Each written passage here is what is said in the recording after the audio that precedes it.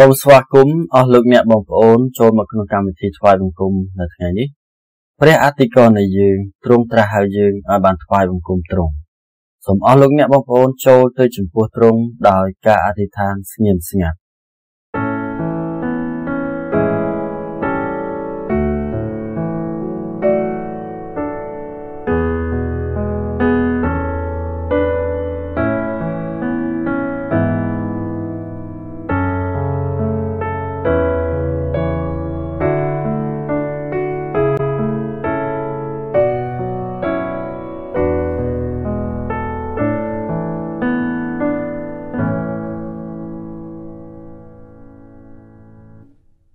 ខ្ញុំនឹងលើកសរសើរដល់ព្រះយេហូវ៉ាគ្រប់ពេលវេលា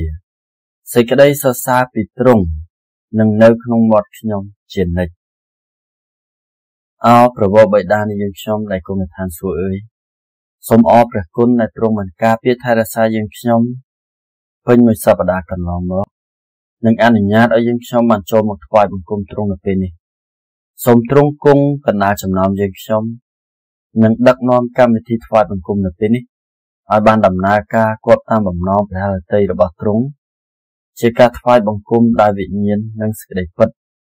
សូមប្រទានពរដល់ការសរសើរដំកើងការអធិដ្ឋាន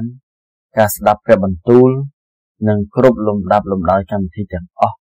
សូមឲ្យយើងខ្ញុំទាំងអស់គ្នាបានប្រកបស្និទ្ធស្នាលជាមួយទ្រង់តាមរយៈកម្មវិធីថ្វាយបង្គំនៅពេលនេះយើងខ្ញុំសូមអធិដ្ឋានក្នុងព្រះនាមព្រះយេស៊ូវគ្រីស្ទ អាមែន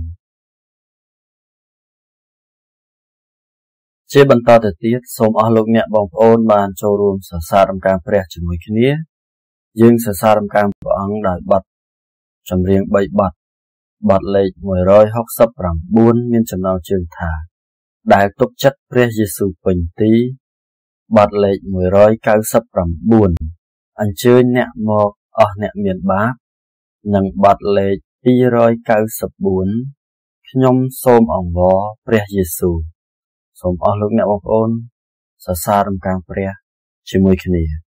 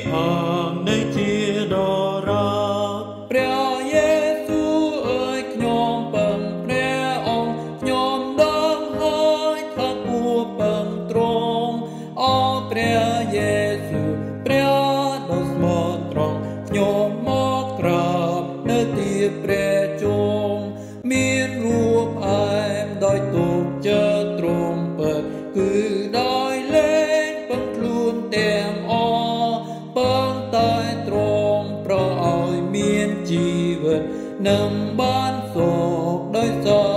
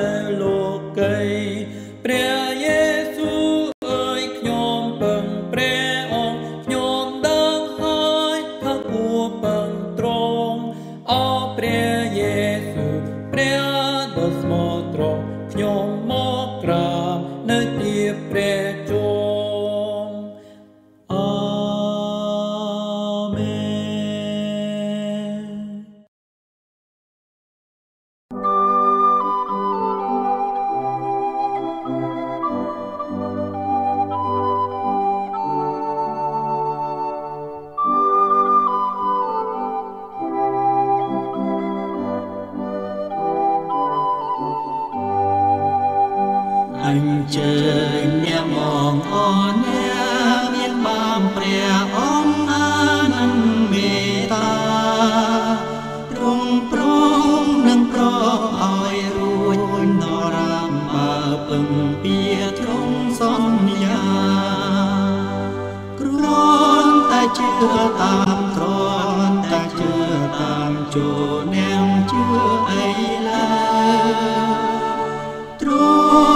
អន់ទោទ្រង់នឹងអន់ទោបើជឿព្រះយេស៊ូវព្រះយេស៊ូវទ្រង់សូគុណជាប់ឆ្កាងនឹងផ្ដល់ព្រះពរយ៉ាងឡើងឈាមទ្រង់នឹងលៀងឲ្យស្អាតក្រុមយ៉ាងជាសស្គុំដូចហេមាំគ្រាន់តែ ជឿតាមគ្រាន់តែជឿតាមចូលនាងជឿអីឡើយទ្រង់នឹងអន់ទោទ្រង់នឹងអន់ទោបើជឿព្រះយេស៊ូវព្រះយេស៊ូវទ្រង់ជាផ្លូវអ្នកអងងឲ្យឈ្នះបាបមិនខាន កុំធ្វេងនឹងថ្វាយចិនជឿព្រះអង្គនោះនឹងបានចិនផ្សេងសា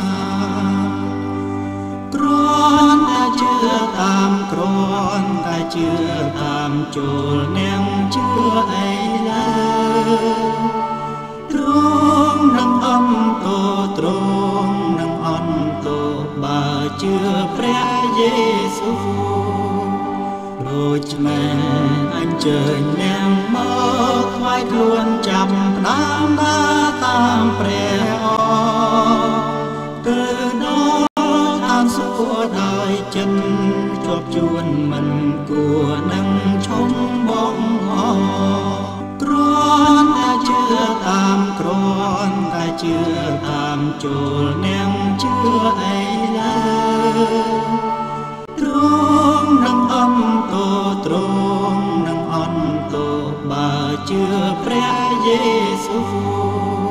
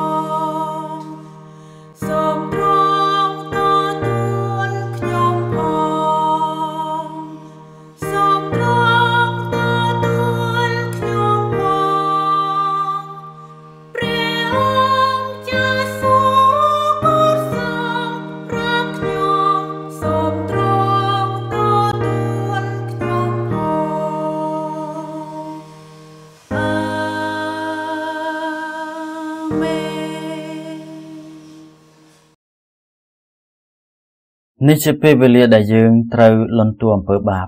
សូមអស់លោកអ្នកបងប្អូនអធិដ្ឋានលន់តួអំពើបាបទៅចំពោះព្រះម្ចាស់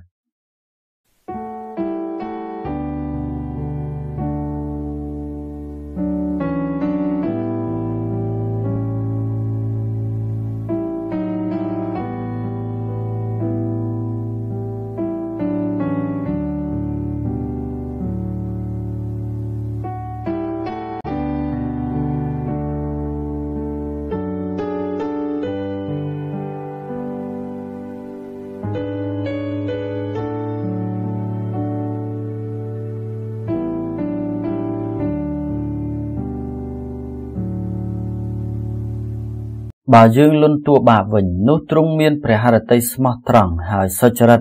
ប្រយោជន៍នឹងអត់ទោសបាបឲ្យយើង ហើយនឹងសម្អាតយើងពីគ្រប់អំពើទុច្ចរិតទាំងអស់ផងអោព្រះដ៏មានគ្រប់ប្រជេស្តាអើយព្រះអង្គបានបំផ្លាញអំណាចនៃអំពើបាបនិងសេចក្តីស្លាប់ដោយព្រះអង្គមានប្រជញ្ញរស់ឡើងវិញយើងខ្ញុំសារភាពថា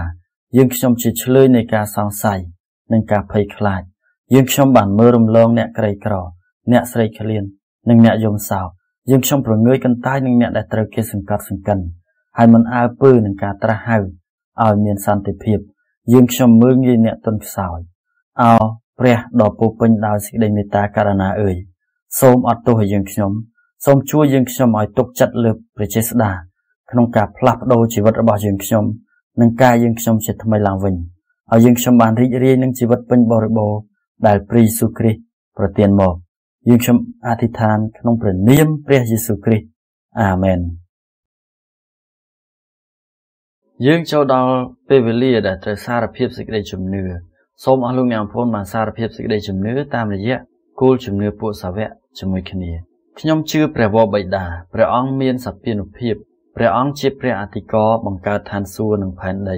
ខ្ញុំជឿព្រះយេស៊ូវគ្រីស្ទជាព្រះរាជបុត្រាតែមួយរបស់ព្រះព្រះអង្គជាព្រះអម្ចាស់ជីវិត ព្រះអង្គបានចាប់បដិសន្ធិនឹងក្រមុំព្រហ្មចារីនីដោយព្រះវិញ្ញាណបរិសុទ្ធស្ដេចមកសន្ធិដ្ឋលើនាងព្រះអង្គរងទុក្ខវេទនាជាប់នាឈើឆ្កាងក្រោមអំណាចបន្ទិសពីឡាត់កាលបានសោយទីវង្គតហើយព្រះបរមសពបានទទួលទីបញ្ចុះទាំងស្ដេចចុះទៅកាន់ឋានឃុំប្រលឹងមនុស្សស្លាប់ផងលុះថ្ងៃទី3ព្រះអង្គមានព្រះជន្មរស់ឡើងវិញព្រះអង្គហោះទៅសោយសម្បត្តិសួគ៌ស្ថិតខាងស្ដាំព្រះវរបិតាព្រះអង្គទ្រង់នឹងស្ដេចយាងមកពីឋានសួគ៌វិញ ដើម្បីជំនុំជម្រះមនុស្សលោកទោះទាំងមនុស្សរស់មនុស្សស្លាប់ក៏ព្រះអង្គជំនុំជម្រះទាំងអស់ខ្ញុំជឿព្រះវិញ្ញាណបរិសុទ្ធហើយទុកចិត្តនឹងក្រុមគ្រីស្ទបរិស័ទសកលលោកខ្ញុំជឿថាក្រុមជំនុំបរិសុទ្ធមានការតាក់ទងគ្នាហើយថាព្រះអង្គប្រោសអភ័យទោសបាបឲ្យផងខ្ញុំជឿថារូបកាយដ៏ចេះស្លាប់នេះនឹងរស់ឡើងវិញប្រកបដោយជីវិតអង្វែងកាលអាមែន ឥឡូវនេះយើងដល់ពេលអានព្រះគម្ពីរឆ្លើយឆ្លងខ្ញុំនឹងអានអក្សរពណ៌ខ្មៅសូមអស់លោកអ្នកបងប្អូនមិនអានអក្សរពណ៌ក្រហមអោព្រះយេហូវ៉ាអើយសូមផ្ទៀងព្រះការស្ដាប់ពាក្យរបស់ទូលបង្គំសូមពិចារណាការរំពឹងគិតរបស់ទូលបង្គំ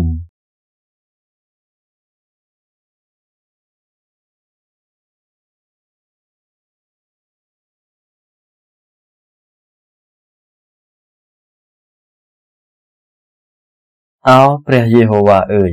នៅពេលព្រឹកទ្រង់នឹងឮសំឡេងរបស់ទូលបង្គំ គឺនៅពេលព្រឹកទូលបង្គំនឹងទូលដល់ទ្រង់ដោយលំដាប់ព្រមទាំងរក្សាពេលចាំយាមផង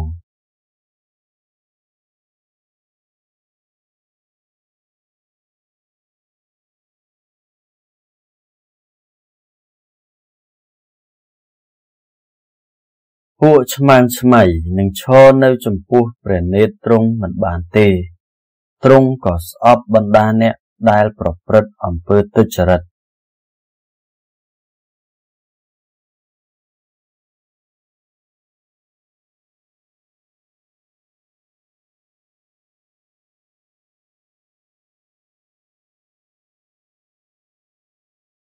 ឯទូលបង្គំវិញ ទូលបង្គំនឹងចូលទៅក្នុងដំណាក់នៃទ្រង់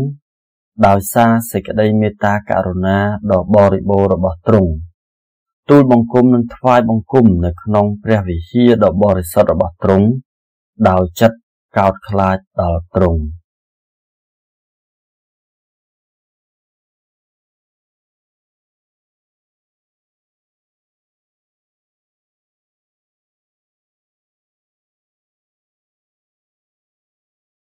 អាមែនជាបន្តទៅទៀតនេះសូមអស់លោកអ្នកបងប្អូនបានចូលរួមសរសើររំកាងព្រះដោយបទទំនុករំកាងមួយបទទៀតគឺបទលេខ74មានចំណងជើងថា ចូលរំលែកពេលរាល់ថ្ងៃ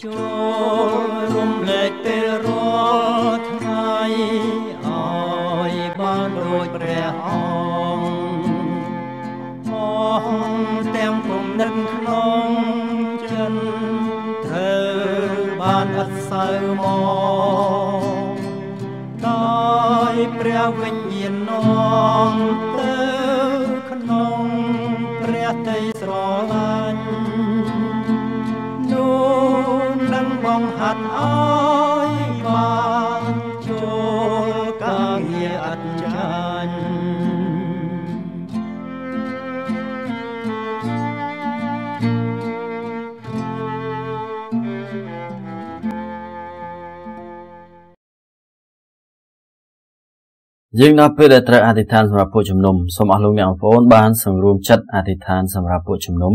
ជាមួយខ្ញុំអោព្រះបបិតានៃយើងខ្ញុំដែលគុណឋានសួគ៌សូមអរព្រះគុណថ្ងៃនេះព្រះអនុញ្ញាតឲ្យយើងខ្ញុំបានចូលមកថ្វាយបង្គំទ្រង់សូមអរព្រះគុណទ្រង់ដែលទ្រង់បានជ្រើសរើសយើងខ្ញុំព្រះគម្ពីរទំនុកកាងចំពុក65ខ4មានបន្ទូលថាមានពោឲ្យអ្នកណាដែលទ្រង់រើសហើយនាំមកនៅចំពោះទ្រង់ដើម្បីឲ្យបានអាស្រ័យនៅក្នុងព្រះលៀនទ្រង់ យើងខ្ញុំនឹងបានស្កប់ចិត្តដោយសេចក្តីលំអនៃដំណាក់ទ្រង់គឺជាព្រះវិហារដ៏បរិសុទ្ធរបស់ទ្រង់ព្រះម្ចាស់អើយសូមឲ្យយើងខ្ញុំបានទទួលព្រះគុណទទួលសេចក្តីអំណរតាមរយៈកម្មវិធីថ្វាយបង្គំថ្ងៃនេះថ្ងៃនេះយើងខ្ញុំចូលមកថ្វាយបង្គំទ្រង់នាំមកជាមួយនៅអំពើបាបសូមព្រះអង្គអត់ទោសឲ្យយើងខ្ញុំនឹងសម្អាតយើងខ្ញុំពីគ្រប់អំពើបាបទាំងអស់ទាំងដោយកាយវាចាចិត្តដែលប្រព្រឹត្តទាស់នឹងបងប្អូនទាស់នឹងព្រះអម្ចាស់ព្រះម្ចាស់អើយ សូមសម្អាតយើងខ្ញុំឲ្យបានស្អាតបរិសុទ្ធដោយព្រះលោហិតរបស់ព្រះយេស៊ូវគ្រីស្ទដែលបានបង្ហូរនៅលើឈើឆ្កាងសូមទ្រង់ប្រទានជំនឿរឹងមាំដល់យើងខ្ញុំសូមដឹកនាំជីវិតយើងខ្ញុំឲ្យបានរស់នៅស្ដាប់បង្គាប់ទ្រង់កាន់តែច្រើនឡើងនិងបែរចេញពីអំពើបាបកាន់តែខ្លាំងឡើងព្រះម្ចាស់អើយសូមឲ្យយើងខ្ញុំបានចម្រើនវ័យឡើងខាងព្រលឹងវិញ្ញាណសូមព្រះអង្គប្រទានប្រពរដល់ពួកជំនុំទ្រង់បងប្អូនដែលមានជំងឺសូមឲ្យបានជាសះស្បើយបងប្អូនដែលមានបន្ទុកការសោកសង្រេងនៅក្នុងចិត្តសូមព្រះអង្គបានកំសាន្តចិត្តលើកទឹកចិត្តពួកគាត់និងដោះស្រាយបន្ទុកបញ្ហារបស់ពួកគាត់ផងដែរសូមទ្រង់ប្រទានពរដល់ពួកជំនុំគ្រប់ទិសទី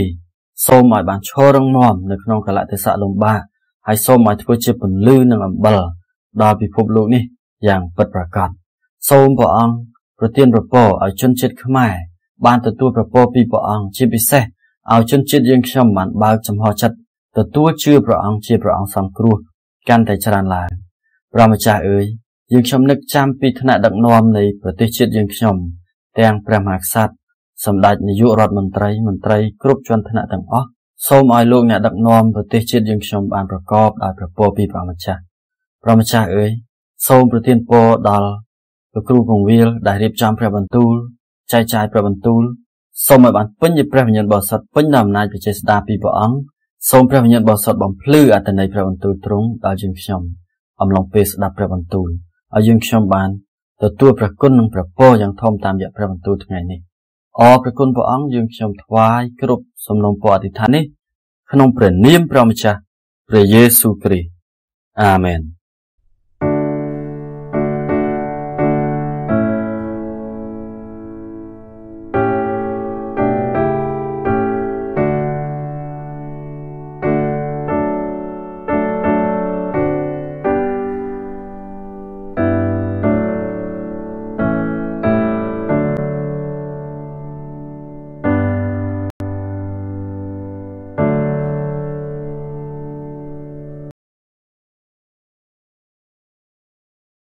យើងដល់ពេលវេលាដែលត្រូវថ្វាយដង្វាយទៅកាន់ព្រះអង្គសូមអស់លោកអ្នកបងប្អូនបានរៀបចំទាំងចិត្តទាំងដង្វាយសម្រាប់ការថ្វាយទៅកាន់ព្រះម្ចាស់នៅពេលនេះ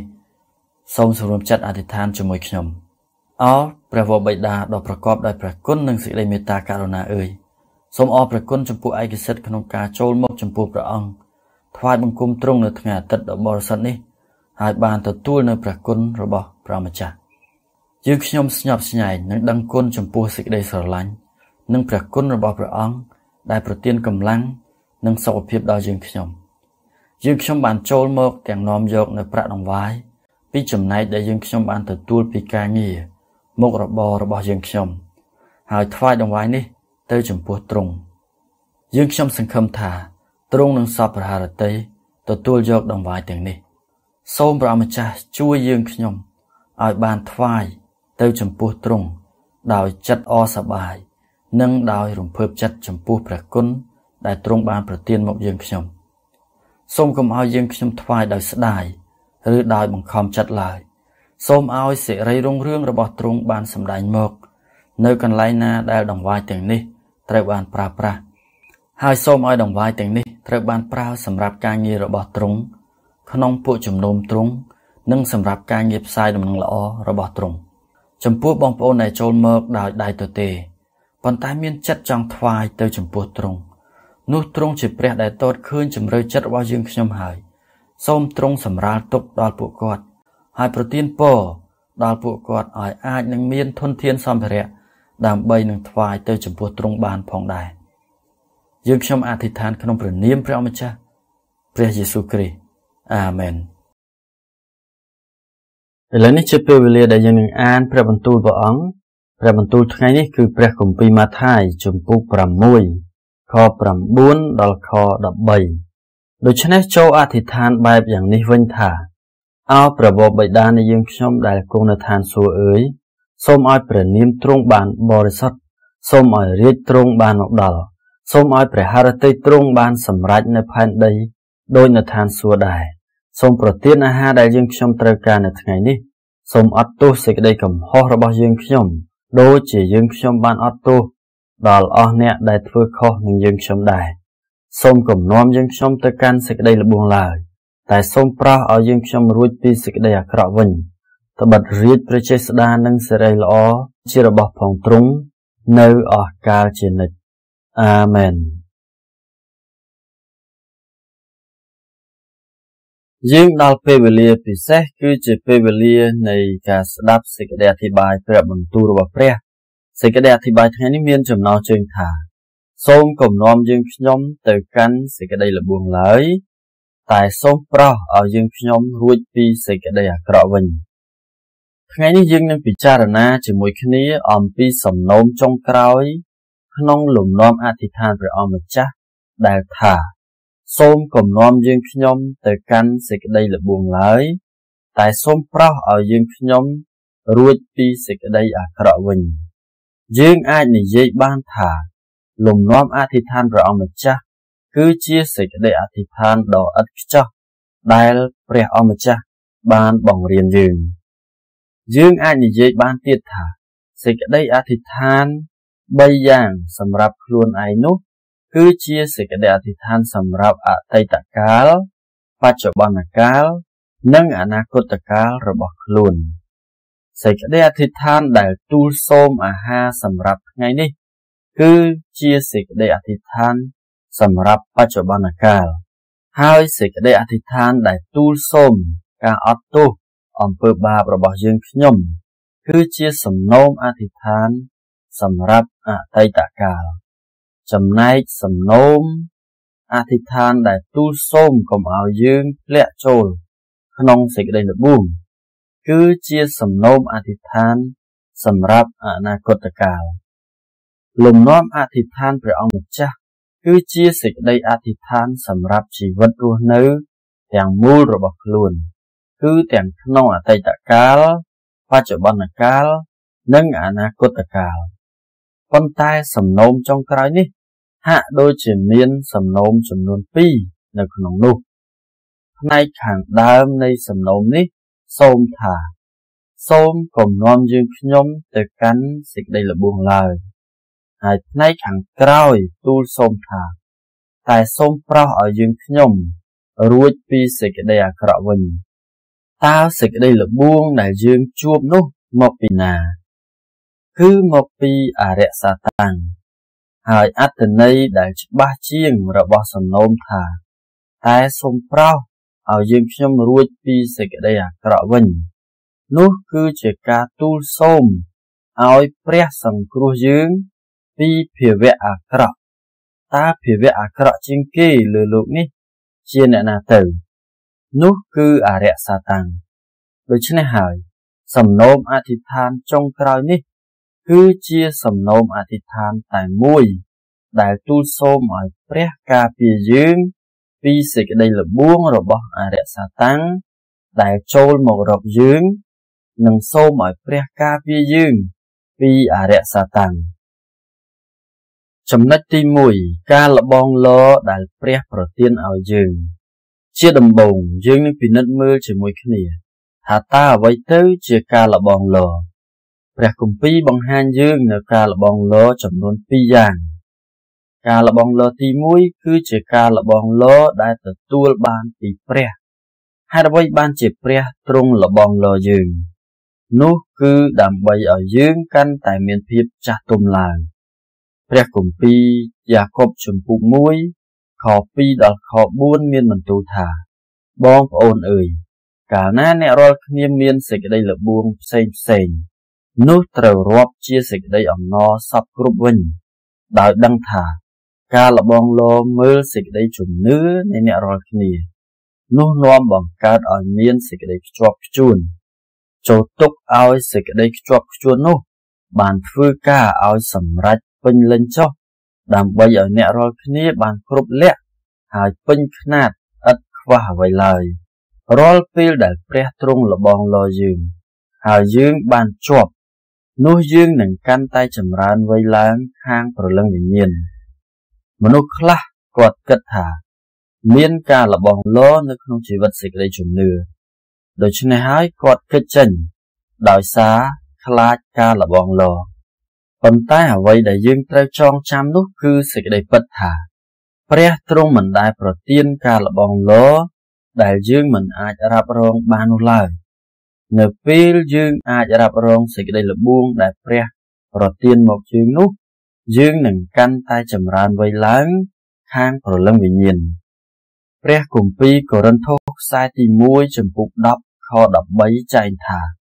ត្បិតគ្មានសេចក្តីល្បួងណាកើតដល់អ្នករាល់គ្នា ក្រៅពីសេចក្តីល្បួងដែលត្រូវខាងមនុស្សលោកទេរីឯព្រះទ្រង់ក៏ស្មោះត្រង់ដែរទ្រង់មិនឲ្យកើតមានសេចក្តីល្បួង ហួសកម្លាំងអ្នករាល់គ្នាឡើយ គឺនៅវេលាណាដែលត្រូវល្បួង នោះទ្រង់ក៏រៀបផ្លូវឲ្យជិះរួច ដើម្បីឲ្យអ្នករាល់គ្នាអាចនឹងទ្រាំបានតួអង្គក្នុងព្រះគម្ពីរដែលបានរ៉ាប់រងយ៉ាងល្អចំពោះការលបងលរបស់ព្រះហើយកាន់តែមានភាពចាស់ទុំខាងវិញ្ញាណនោះ គឺលោកអាប់រ៉ាហាំ គាត់បានលូតលាស់ឡើងខាងវិញ្ញាណដោយសារការលបងលពីព្រះរហូតដល់គាត់អាចរ៉ាប់រង ចំពោះការលបងលឲ្យថ្វាយអ៊ីសាកូនប្រុសគាត់ ជាយ៉ាញ់បូជាដល់ព្រះខ្ញុំសង្ឃឹមថាលោកអ្នកបងប្អូននឹងទទួលការលបងលពីព្រះ ដោយអរព្រះគុណនិងដោយអំណរការលបងលដែលព្រះប្រទានមកនឹងធ្វើឲ្យយើងលូតលាស់ឡើង ក្លាយជាមនុស្សនៃសេចក្តីជំនឿស្មោះត្រង់ចំណុចទី2សេចក្តីល្បួងដែលអរិយសាតាំងផ្ដល់ឲ្យប៉ុន្តែនៅក្នុងព្រះគម្ពីរមានសេចក្តីល្បួងមួយទៀតដែលនោះមិនមែនជាការលបងលដែលព្រះប្រទានមកទេប៉ុន្តែជាសេចក្តីល្បួងដែលអរិយសាតាំងផ្ដល់ឲ្យសេចក្តីល្បួងនៅក្នុងលំនាំអធិដ្ឋានព្រះអង្គម្ចាស់គឺជាសេចក្តីល្បួងនេះឯង សេចក្តីល្បួងនេះមិនមែនជាការលបងលដែលយើងត្រូវរ៉ាប់រងនោះទេ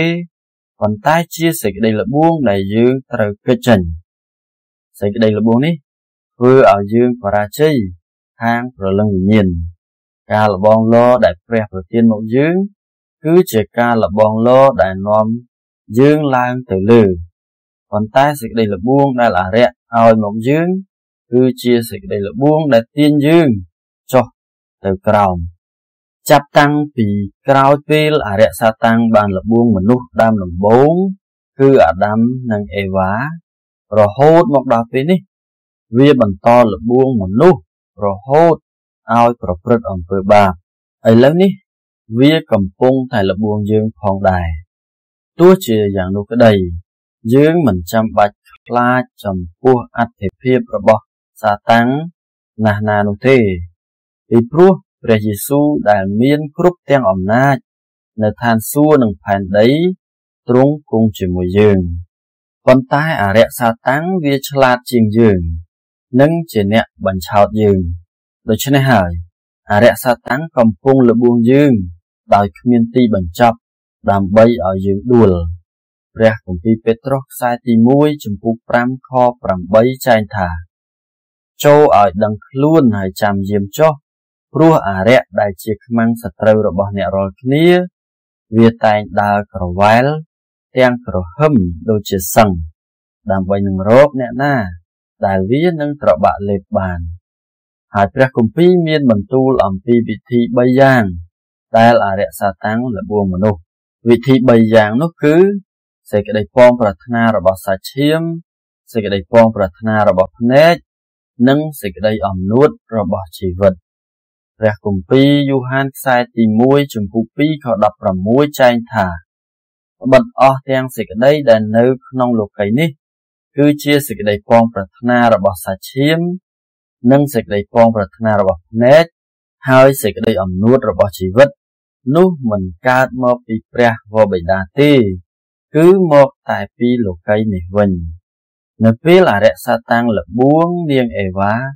ដែលជាមនុស្សដើមដំបូង នោះតើនាងបានធ្វើយ៉ាងណា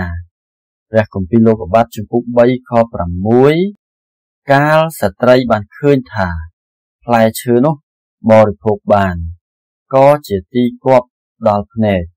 ហើយជាដើមដែលល្មមគួរនឹងចង់បាន ដើម្បីឲ្យបានប្រាជ្ញា នោះនាងក៏យកផ្លែមកបរិភោគព្រមទាំងចែកឲ្យដល់ប្តីដែរគាត់ក៏បរិភោគតាម ឃ្លាថាបរិភោគបាននៅត្រង់នេះ គឺអរិយសាតាំងលបួងតាមរយៈសេចក្តីពងប្រាថ្នារបស់សាច់ឈាមហើយឃ្លាថាជាទីគប់ដល់ភ្នែកនោះអរិយសាតាំងលបួងតាមរយៈសេចក្តីពងប្រាថ្នារបស់ភ្នែកចំណែកឃ្លាថាល្មមគួរនឹងចង់បាន ដើម្បីឲ្យបានប្រាជ្ញា នោះអរិយសាតាំងលបួង តាមរយៈអំនួត នៃជីវិតដោយដែលអរិយសាតាំងលបួងនាងអេវ៉ាជាមនុស្សដើមដំបូងឲ្យប្រព្រឹត្តអំពើបាបអីចឹងឥឡូវនេះ វាក៏កំពុងលបួងយើងតាមរយៈសេចក្តីពងប្រាថ្នារបស់សាច់ឈាមសេចក្តីពងប្រាថ្នារបស់ភ្នែកនិងសេចក្តីអំនួតនៃជីវិតដែរមនុស្សម្នាក់ម្នាក់មានចំណុចខ្សោយរៀងរៀងខ្លួន អ្នកខ្លះងាយនឹងដួល ដោយសារតែសេចក្តីពងប្រាថ្នារបស់សាច់ឈាមអ្នកខ្លះងាយនឹងប្រព្រឹត្តអំពើបាប ដោយសារសេចក្តីពងប្រាថ្នារបស់ភ្នែកហើយអ្នកខ្លះទៀតងាយនឹងត្រូវសេចក្តីល្បួង ដោយសារអំនួតនៃជីវិតអរិយសតាំងឆ្លាតជាងយើងដូច្នេះហើយវាស្គាល់យ៉ាងច្បាស់ពីចំណុចខ្សោយរបស់មនុស្សម្នាក់ម្នាក់បានជាវាល្បួងយើងតាមរយៈចំណុចខ្សោយទាំងនោះ ឲ្យយើងប្រព្រឹត្តអំពើបាបដូច្នេះយើងត្រូវតែរកឲ្យឃើញចំណុចខ្សោយរបស់ខ្លួនឯងជាមុនសិនបន្ទាប់មកយើងត្រូវតែដាស់តឿនខ្លួនឯងជានិច្ចកុំឲ្យអរិយសតាំងផ្ដួលយើងតាមរយៈចំណុចខ្សោយនោះចំណុចទី3របៀបយកឈ្នះលើសេចក្តីល្បួង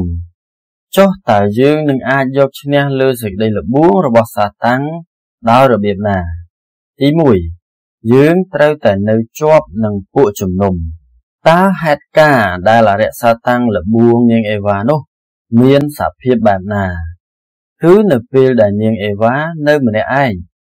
តើអរិយសាតាំងលបួងយើងខ្លាំងនៅពេលណា គឺពេលយើងនៅម្នាក់ឯង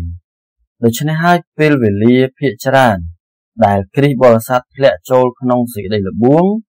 គឺជាពេលគាត់នៅម្នាក់ឯងដូច្នេះហើយ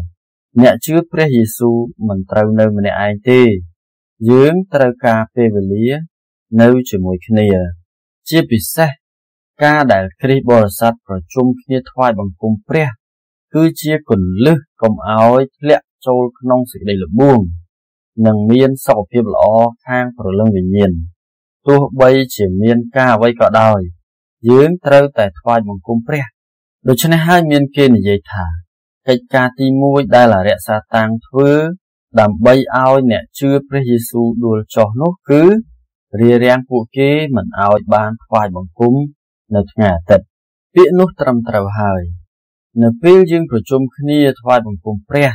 នោះយើងនឹងទទួលកម្លាំងដោយសារព្រះគុណដែលព្រះប្រទានឲ្យពេលនោះហើយដែលយើងនឹងបានឈ្នះ លើគ្រប់ទាំងសេចក្តីល្បួងចំណុចទី2យើងត្រូវតយុទ្ធជាមួយអរិយសាតាំងព្រះគម្ពីរអេផេសូជំពូក6ខ11ដល់ខ12មានបន្ទូលថាចូលពាក់គ្រប់គ្រឿងសឹករបស់ព្រះ ដើម្បីឲ្យអាចនឹងឈរមាំមួនទាស់នឹងអបាយកលទាំងអបាលមានរបស់អរិយត្បិតយើងរាល់គ្នាមិនមែនតយុទ្ធនឹងសាច់ឈាមទេ គឺនឹងពួកគ្រប់គ្រង ពួកមានអំណាច និងពួកម្ចាស់នៃសេចក្តីងងឹតនៅលោកីយ៍នេះវិញ ហើយទាស់នឹងអំណាចអាក្រក់ខាងវិញ្ញាណនៅឋានដ៏ខ្ពស់ដែរមនុស្សម្នាក់បាននិយាយថាខ្ញុំមិនចង់ប្រយុទ្ធជាមួយអរិយសាតាំងទេខ្ញុំគ្រាន់តែចង់រស់នៅ ដោយសន្តិភាពប៉ុណ្ណោះតើការនេះអាចទៅរួចទេ មិនអាចទេ ពីព្រោះនៅពេលឥឡូវនេះក្តី អរិយសាតាំងលបួងយើង ហើយវាធ្វើការវាយប្រហារយើងខាងឯវិញ្ញាណឥតឈប់ឡើយដូច្នេះហើយ យើងត្រូវតែប្រយុទ្ធជាមួយអរិយសាតាំងបើដូច្នោះដើម្បីប្រយុទ្ធជាមួយអរិយតើយើងត្រូវធ្វើអ្វីជាមុន យើងត្រូវតែពាក់គ្រឿងសឹកខាងព្រលឹងវិញ្ញាណរបស់ព្រះចុះតើគ្រឿងសឹកក្នុងសង្គ្រាមខាងវិញ្ញាណមានអ្វីខ្លះ សាវកពលបានពន្យល់នៅព្រះគម្ពីរអេផេសូជំពូក6អំពីគ្រឿងសឹកខាងវិញ្ញាណទាំងនោះ ទី1យើងត្រូវក្រវ៉ាត់សេចក្តីពិតនៅចង្កេះអរិយសាតាំងនៅតែបោកបញ្ឆោតយើងដើម្បីឲ្យយើងដួលដូច្នេះហើយយើងត្រូវតែកាន់ជាប់នៅសេចក្តីពិត នៅពេលនោះហើយដែលយើងនឹងអាចយកឈ្នះ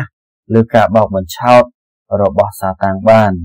ទី2 យើងត្រូវពាក់សេចក្តីសុចរិតទុកជាប្រដាប់បាំងដើមទ្រូងចំពោះគ្រីស្ទបរិស័ទនៅពេលយើងជឿព្រះយេស៊ូវនោះយើងត្រូវបានទទួលស្គាល់ថាជាមនុស្សសុចរិតហើយ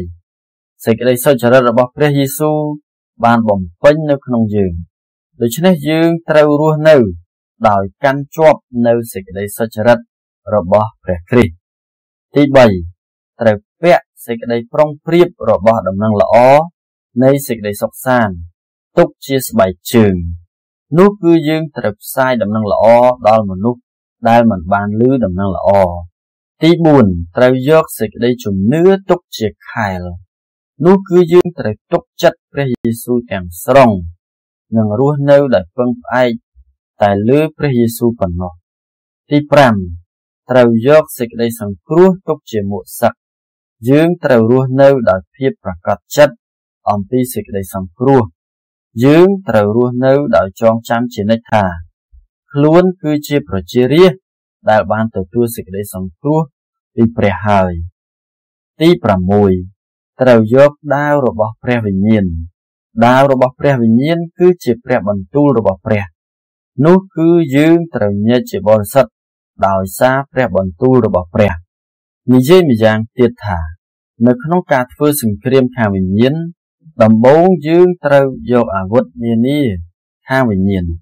ហើយប្រដាប់ខ្លួនដោយអាវុធទាំងនោះឲ្យបានល្អហើយជាចុងក្រោយ ព្រះទ្រង់មានបន្ទូលប្រាប់យើងឲ្យតែងតែអធិដ្ឋានចាំយាមនៅពេលយើងអធិដ្ឋាន នោះយើងនឹងទទួលកម្លាំងខាងវិញ្ញាណទោះបីជាយើងប្រដាប់ខ្លួនដោយគ្រឿងសឹក ខាងវិញ្ញាណហើយក៏ដោយប៉ុន្តែយើងមិនមានកម្លាំងប្រយុទ្ធទេ នោះគ្រឿងសឹកនឹងមិនអាចជួយអ្វីដល់យើងបានឡើយខ្ញុំសង្ឃឹមថាលោកអ្នកបងប្អូននឹងទទួលកម្លាំងខាងវិញ្ញាណដោយសារការអធិដ្ឋាន ហើយប្រយុទ្ធជាមួយអរិយសាតាំងដោយក្លាហាននៅពេលយើងអធិដ្ឋានបែបនោះ យើងនឹងមិនធ្លាក់ចូលក្នុងសេចក្តីល្បួងរបស់អរិយសាតាំងទេ ហើយរស់នៅ តាមបំណងព្រះハរតីរបស់ព្រះវិញលោកអ្នកបងប្អូនជាទីស្រឡាញ់អើយសូមលោកអ្នកបងប្អូនចងចាំថាអរិយសាតាំងកំពុងតែលបួងយើងឲ្យប្រព្រឹត្តអំពើបាបយើងត្រូវតែចងចាំជានិច្ចថា សង្គ្រាមខាងវិញ្ញាណនេះស្ថិតនៅចំពោះមុខយើងរាល់ថ្ងៃប៉ុន្តែសង្គ្រាមនេះ យើងមិនអាចប្រយុទ្ធដោយកម្លាំងផ្ទាល់របស់យើងបានឡើយ បើយើងប្រយុទ្ធដោយកម្លាំងរបស់យើង នោះយើងនឹងបរាជ័យប៉ុន្តែនៅពេលយើងថ្វាយទៅព្រះវិញ្ញាណបរិសុទ្ធដែលកំពុងគង់នៅនឹងធ្វើការនៅក្នុងយើងហើយពឹងផ្អែកលើទ្រង់នោះយើងនឹងឈ្នះដូច្នេះហើយនៅពេលយើងអធិដ្ឋានតាមលំនាំអធិដ្ឋានព្រះអង្គម្ចាស់រាល់ថ្ងៃនោះយើងត្រូវអធិដ្ឋានឲ្យយើងបានឈ្នះលើសេចក្តីល្បួងគ្រប់យ៉ាងរបស់អរិយសាតាំង ដោយព្រះវិញ្ញាណបរិសុទ្ធជួយយើងហើយសូមខ្លាចជាពួកបរិសុទ្ធដែលប្រដាប់កាយដោយគ្រឿងសឹកខាងវិញ្ញាណដើម្បីតយុទ្ធជាមួយអរិយសាតាំងរាល់ថ្ងៃព្រមទាំងសម្រេចបំណងព្រះរតីរបស់ព្រះនៅលើផែនដីនេះ ដោយរស់នៅតាមព្រះបន្ទូល គឺនៅពេលនោះហើយដែលនគរព្រះនឹងលេចមកនៅលើទឹកដីប្រទេសកម្ពុជានេះ តាមរយៈយើងទាំងអស់គ្នា សូមសង្រួមចិត្តអធិដ្ឋានជាមួយខ្ញុំអោព្រះបបិតានៃយើងខ្ញុំដែលគង់នៅឋានសួគ៌អើយសូមអរព្រះគុណសម្រាប់ព្រះបន្ទូលថ្ងៃនេះព្រះម្ចាស់ប្រទានការលបងលឲ្យយើងខ្ញុំនៅពេលដែលយើងខ្ញុំជាប់ការលបងលនោះយើងខ្ញុំនឹងចម្រើនវៃឡើងខាងព្រលឹងវិញ្ញាណប៉ុន្តែអរិយសាតាំងបន្តលបួងយើងខ្ញុំឲ្យយើងខ្ញុំដួលធ្លាក់ចូលទៅក្នុងអំពើបាបព្រះម្ចាស់អើយសូមការពារយើងខ្ញុំពីសេចក្តីលបួងរបស់អរិយសាតាំង សូមឲ្យយើងខ្ញុំប្រដាប់កាយដោយគ្រឿងសឹកខាងវិញ្ញាណហើយអធិដ្ឋានចាំយាមនឹងមានការប្រកបជួបជុំគ្នាជាមួយបងប្អូនអ្នកជឿថ្វាយបង្គំព្រះអង្គទទួលកម្លាំងពីព្រះអង្គហើយប្រយុទ្ធជាមួយអរិយសាតាំងហើយបានឈ្នះគ្រប់ទាំងសេចក្តីល្បួងផងដែរអរព្រះគុណយើងខ្ញុំសូមក្នុងព្រះនាមព្រះម្ចាស់ព្រះយេស៊ូវគ្រីស្ទអាមែន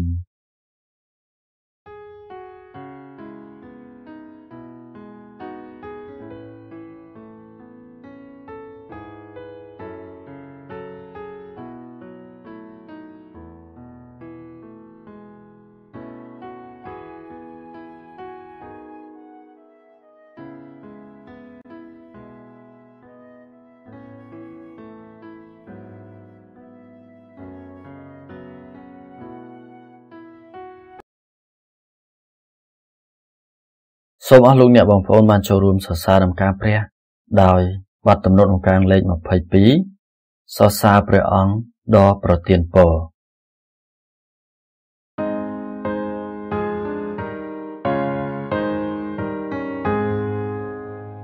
សូសព្រះ